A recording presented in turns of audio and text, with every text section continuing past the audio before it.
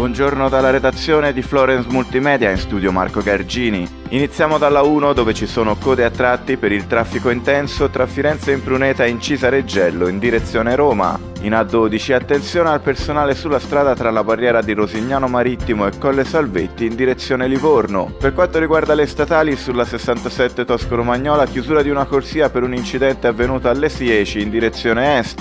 In Fipilli personale sulla strada tra Firenze Scandicci e la Strassigna in direzione Livorno. Per la viabilità cittadina a Firenze da domani modifica ad alcune linee di ATAF per alleggerire la zona della stazione di Firenze Santa Mera Novella di almeno 400 passaggi al giorno. Muoversi Corsi in Toscana Inf è un servizio in collaborazione con Regione Toscana, Città Metropolitana e Comune di Firenze. Buon viaggio!